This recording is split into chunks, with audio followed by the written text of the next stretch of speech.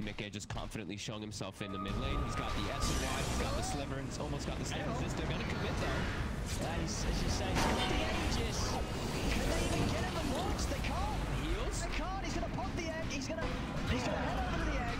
He's got the chrono down onto everybody else. He is getting stunned, but again, Taiga comes in, keeps him alive. I mean, this one, this one looks pretty there it is, GG's gone. To wide, he's got the sliver, and he's almost got the stand resist. They're gonna commit though.